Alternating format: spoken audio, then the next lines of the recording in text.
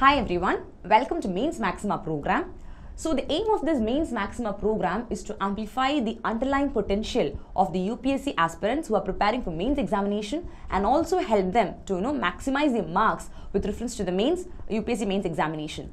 So in this program, Mains Maxima program, I'll be discussing a set of questions exclusively with reference to economy. And I hope it will really help you guys in preparing for your mains examination in a much, much better way. So to begin with, the first topic of discussion today is with reference to inequality.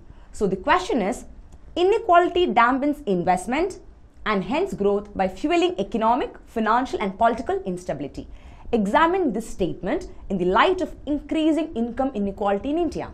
So now we are going to examine this particular statement, guys, that is with reference to inequality in different sectors of the economy. Okay. So to begin with, we know that inequality has been literally affecting our economy to, in a greater way, right? Be it in any sectors. If you take any sector, the widening disparities in the income and distribution of in, uh, income and distribution has literally led to a lot of problems, right? So you can start your answer by giving an introduction, guys. See, we know that social and economic inequalities, okay, that has literally existed in India from the ancient times in various forms like your social status, your wealth or opportunity between people or groups. And if you see the recent report titled Widening Gaps, that is India Inequality Report, report of 2018, which is released by the Oxfam India, it shows the sign of crony capitalism in India, which is a very serious situation or a dangerous situation for our country. Okay. And now, if you see the wealth of India's billionaires, guys, it was 10% of your gross domestic product in the year 2013. And it has subsequently increased rapidly to about 15% currently. That means there has been a huge increase, right? So now that itself shows that there is a widening inequality between the rich and the poor. And that again is one of the biggest reasons or causes why a country is not developing. Okay.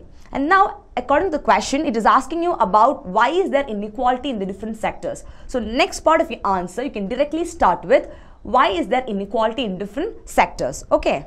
So now we'll be discussing about the inequality that exists in different sectors. So here we are going to discuss about the inequality in your agriculture or primary sector, then about your secondary or manufacturing sector and also in your tertiary or service sector. Because why does this inequality arise guys? Because of unemployment, right? And now we are going to see how is that inequality affecting different sectors.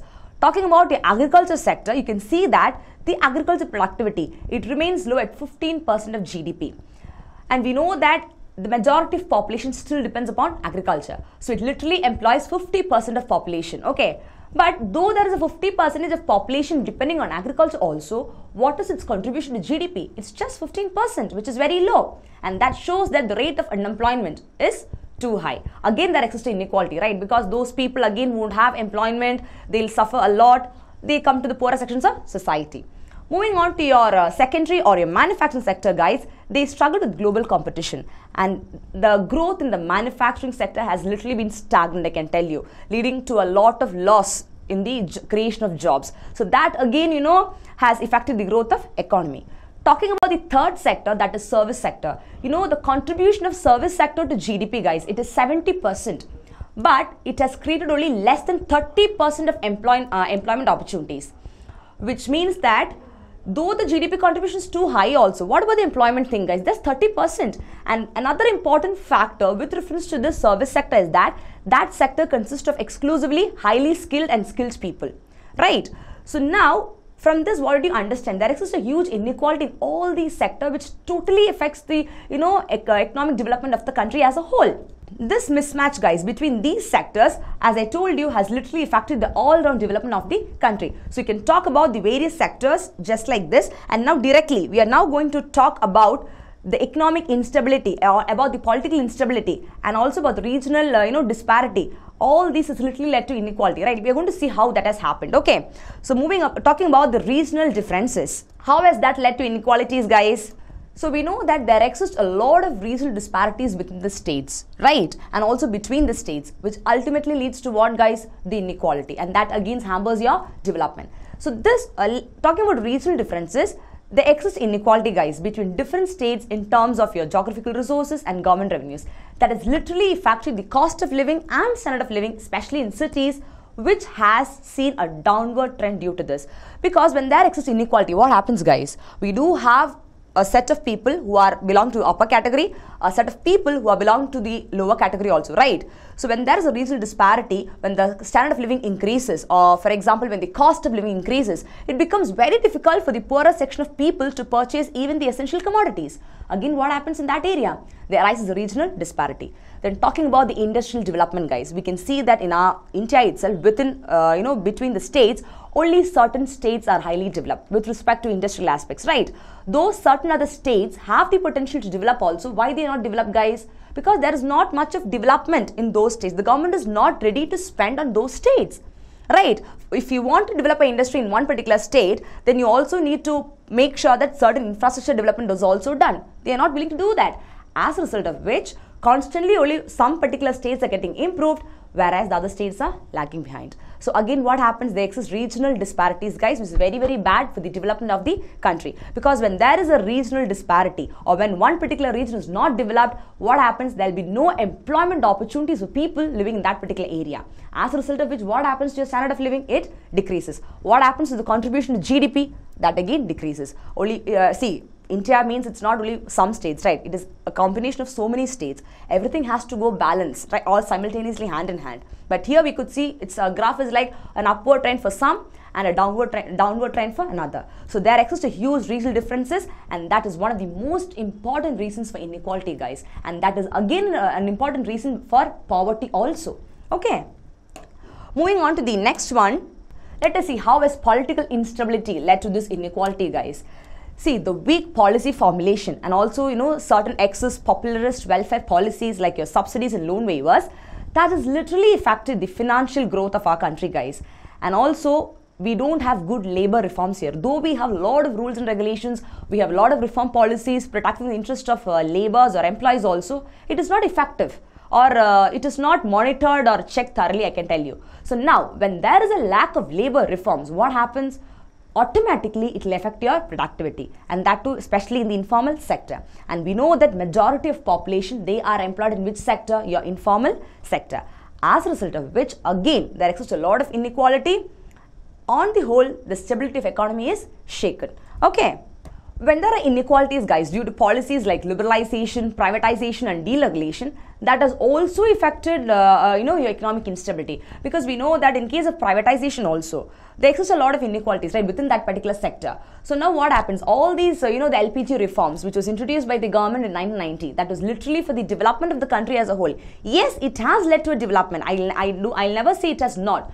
But it has also widened the gap guys in uh, you know as as and when uh, when they were trying to reduce poverty also it has literally enhanced the you know widening disparity i can tell you that literally contradicts but that has really happened so again all these things has literally led to a inequality in our country so now again we are going to talk about the technological aspects guys, the technological inequality. Okay. Now we know that the lack of adequate technology and skills that has again affected the two main sectors of our economy. One is your service sector and other is the manufacturing or industrial sector. And apart from that guys, though we have certain technologies also, there is an inflexibility in them. That is the inflexibility of various sectors uh, you know, to new technologies like your big data, your AI, that is artificial intelligence, that has again led to, you know, a lot of inequalities because now we'll not be knowing what is the, you know, effect of this inflexibility to this new technologies. But in the coming future generations, if these new technologies are not properly utilized, that is like your big data and artificial intelligence, definitely our country will be at a stake because if you see right now itself we can see so many countries uh, you know coming up with artificial intelligence where they can improve their progress in development to a greater extent. So why not India too? If that is not there again, in terms of technology also we face a lot of inequalities. And this will be continuing for us which is which will definitely hamper the growth and development of our country. So you can include points like that also guys. Okay. And thus now now you, you can uh, you know, i think we have discussed uh, the major points and now it's time for conclusion. So how will you conclude guys in order to reduce this income inequality especially with reference to india you know we face this income inequality right what you should do guys you have to increase the spending in various social sectors like your education, your health, your skill development, etc. And out of these, your skill development is very, very essential because there is the existence of heavy unemployment in our country, right? And that is one of the biggest problem that our country is facing.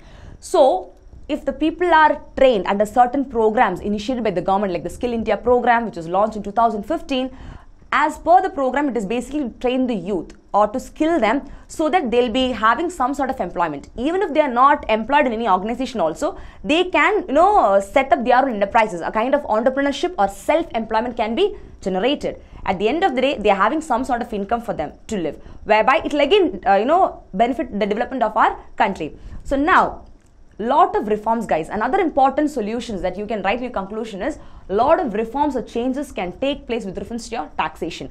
We know that we have both direct and indirect taxation. Out of that the tax collection from indirect sources too high because we are not feeling the pinch or the burden of paying it right? Because it is included in the uh, you know commodity when you're bu- buying it. But what about direct tax? The, there is a lower you know the tax collection of direct tax is literally low. As a result of which it will literally hamper your economy and also making sure that the process of uh, you know this direct tax collection can be simplified so that it will en- enable the people to you know make the payment of direct tax in a better way. Fine. And also apart from that guys labor reforms because that is something which i already discussed to you a lot of inequality exists right? So now a lot of labor reforms can also take place as it is very necessary to restore country's financial health. So thus there is a need to end the nexus between the political and the economic elites which has resulted in the monopoly which means the concentration of economic power in the hands of few. Because that is little little inequality right? Because of this only you know we are facing a lot of issues. Thus in order to bring back the 21% of india's population from bpl that is the below poverty line and achieve the sdg there is urgent need to end the different forms of inequality in India. Because unless and until we are going to end these different forms of inequality, guys, we cannot even think of developing in our country. So this is how you should approach this particular question. And apart from these points, what we have discussed, you can also add your own points also. Because at the end of the day, inequality is a wider concept. So you will be able to add up a lot of points from your own perspective. So I hope these points have literally helped you in framing your answers. So the next question is, India has a larger demographic dividend which has to be harnessed through Skill India. Analyze. So here from this question we I have understood that we are not able to utilize the demographic dividend that we have. demographic dividend means the young population that India has which means that we are lacking with a lot of skill development activities, right? So this question is all about harnessing the demographic dividend that India has through various skill development initiatives and programs. So to begin with, you can write your answer by uh, uh, by focusing on the demographic dividend of India. Okay, we know that India is one of the youngest country in the world with an average of 29 years compared to you know the world standard that is like China with 37 and Japan with 48. So now guys, with having such a young you know efficient population automatically you know uh, the demographic dividend is so high and the skill development is supposed to be high because a young population can definitely be accustomed to, to that. But what is happening in our country? We have very high rates of unemployment in our country right? Because the young population has not been utilized properly. They don't have the sufficient skills you know in order to be suitable for certain jobs. They are not being trained properly. We are lacking in all these aspects. That is why we are not able to harness this efficient uh, you know young population. So now if you see guys in your introduction again to prove this particular statement you can give some statistics so that you'll be able to you know show the strength of india's demographic dividend okay? 65 percentage of population will be 35 years of age and 68 will be you know in the working age group. That is 15 uh, that is 18 to 9 years by the year 2020 i'm talking with respect to india okay? And now this is referred to as what guys? Your demographic dividend. And that can literally be reaped to improve the country's growth as well as the per capita income of majority of the Indians. So now having such a you know huge uh, young population we are not having you know the uh, sufficient skill development programs to harness the skill of these people. So now the skill development to harness demographic dividend that can be next heading and we are going to mention what can be done for this.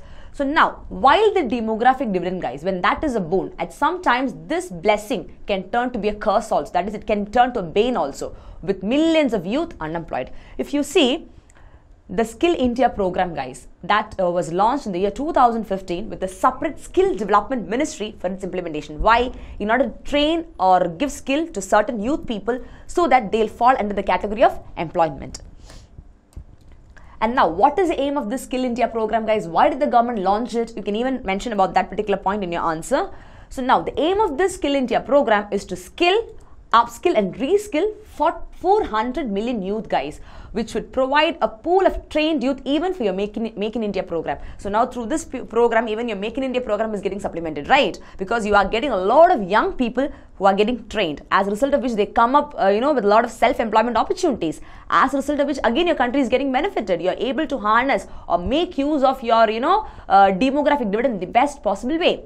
Another point uh, which you need to mention with reference to skill, uh, you know, development and to harness uh, this particular population is okay we know that the government has launched the skill development program but it's a very big exercise to you know skill the 400 million young youth. Do you think it's a normal thing? No it's a huge task. So now the government realizes that it's such a mammoth or a very big exercise and it will definitely require the participation of private entities. So now private participation should be encouraged and hence the government and the private they created the national skill qualification framework where the private entities they can be uh, sign up to be training partners through approved training centers. That is guys what will the government do is they'll uh, come up with uh, certain private entities uh, for training these young youth. They'll sign up in certain contract and then through approved training centers these private entities they'll provide trainings to using certain experts to all these young people as a result of which they'll be getting training from so specialized people whereby the efficiency of these young population who are uh, sitting for the training will be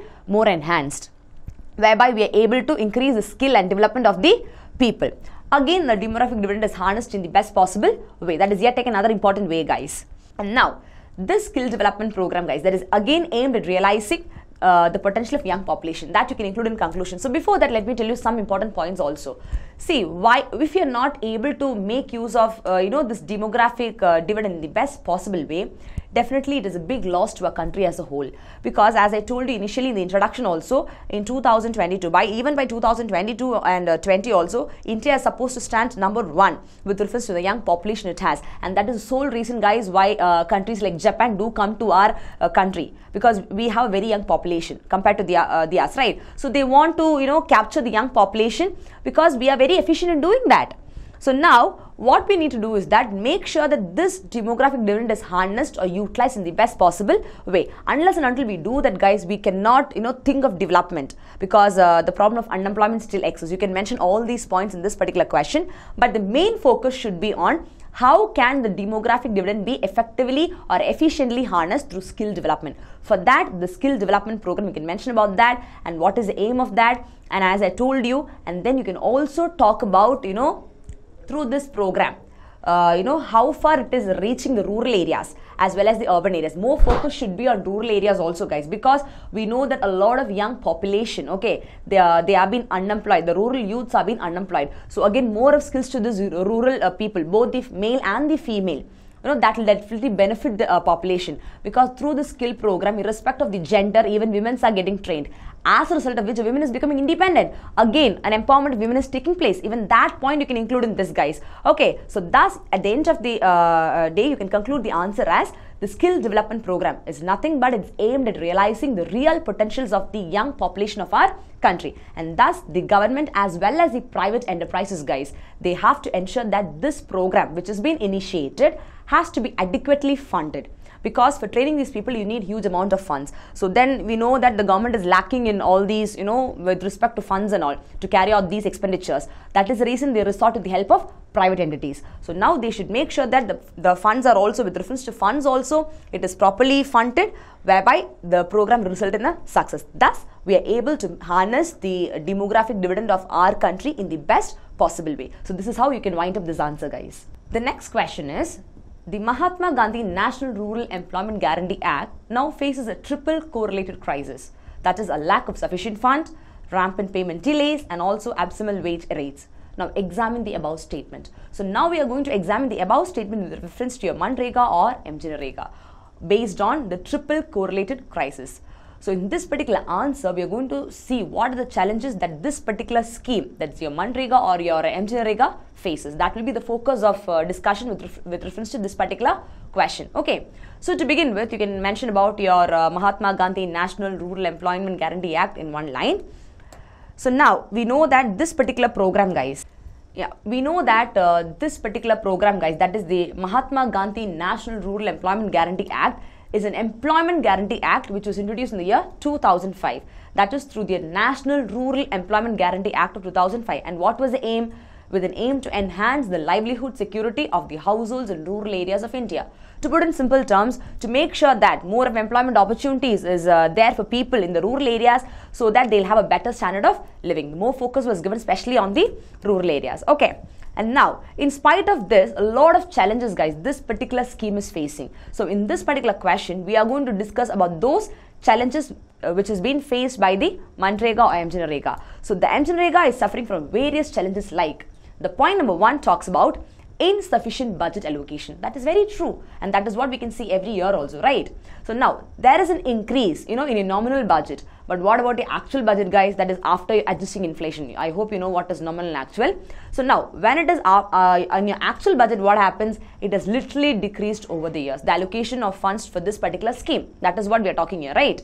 But although the allocated amount is say like 55,000 crore, the actual value of budget allocation for the current year that is 2018-19, it is much lower than that of 2010-11, which literally means that the allocation of funds, though they say, okay, so and so fund, uh, I mean, amount will be allocated for this particular scheme also, it is not literally, you know, getting approved or literally not reaching the scheme.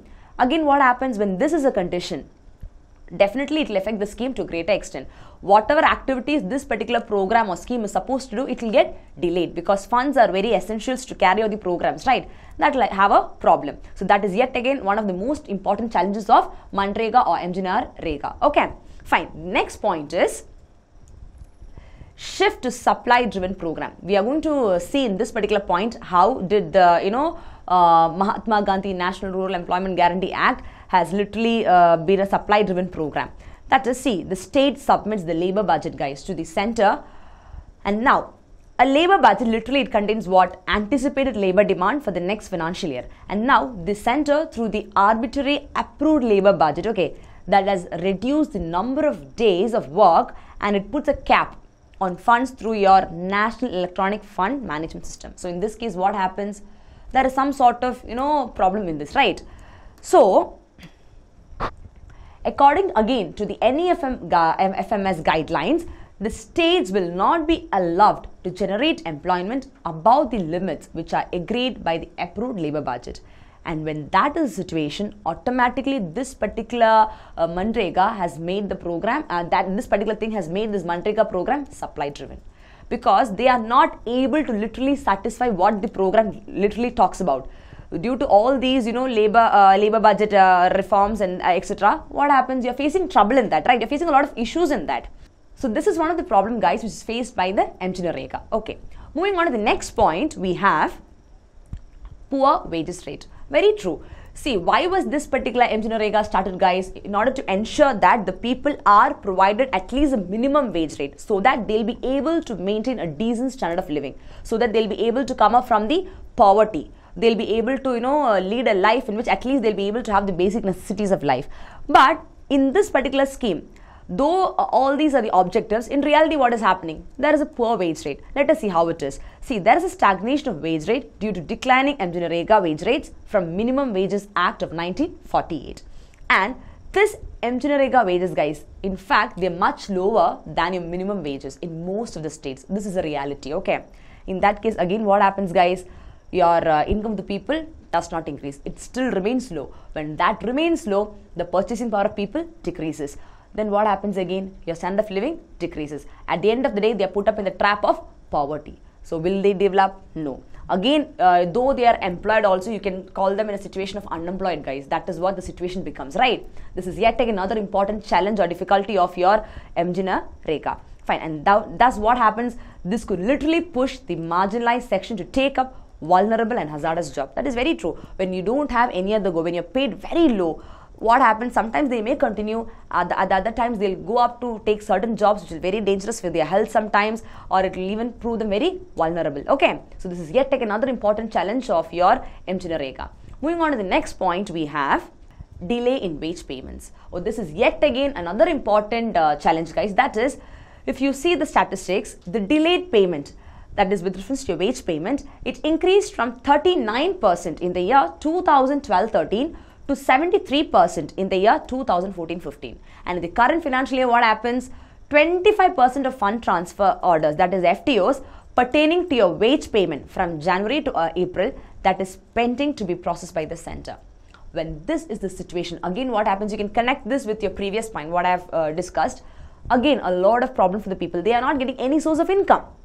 Though they are supposed to get money for what they have done, the work they have done, again they're not paid anything. As a result of which the efficiency reduces. See when somebody is not paying you money for the work that you have done automatically when it keeps on getting postponed what happens to the efficiency uh, what happens to efficiency in the coming works? It reduces right? The same thing happens here also. Those people definitely they will the efficiency will reduce. They'll have no incentive to work. At the end of the day they again still remain in poverty. That is what literally happens right? So as a result of this on the whole, I can tell you that the Manrega or MGNREGA has not benefited the targeted uh, group in the ex- most expected way, I could tell you. Though they have literally come up with so many things which will benefit the people, in practicality, what we are seeing, guys, more than the benefits, we could, could see a lot of drawbacks, and that is uh, that is what is you know literally leading to poverty. I could say that is what is literally leading to unemployment in rural areas. I could say because this particular program was basically for uh, you know making sure that more people are employed.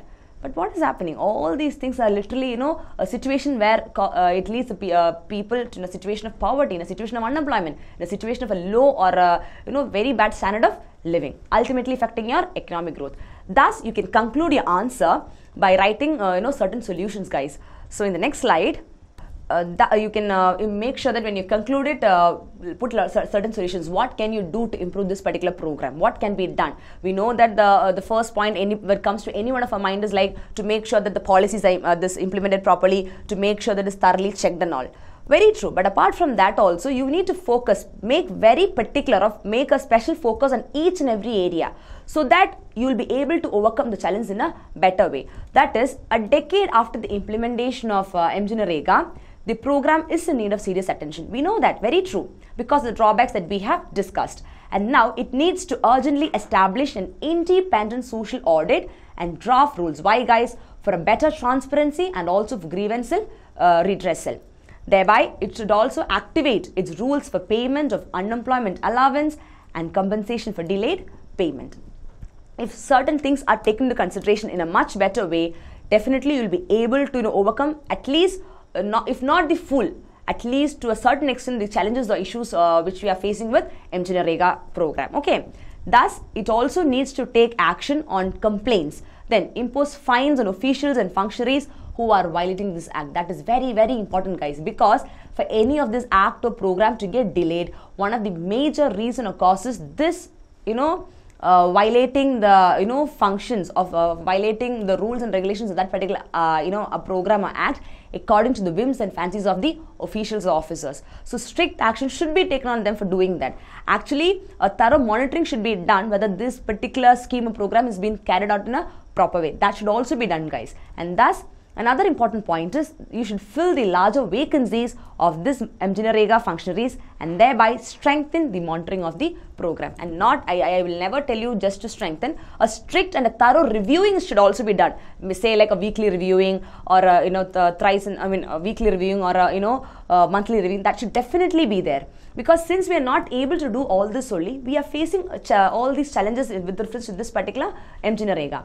So, with this, you can conclude your answer and I hope you've clearly understood uh, regarding the challenges which is faced by this particular program and how to put the challenges in a structured way. And thereby, while concluding, guys, one thing what you need to remember is please make sure that you are providing certain solutions. Apart from this, also you can add up your own solutions to make the answer, you know, in a in a better way. You can add up, no problem.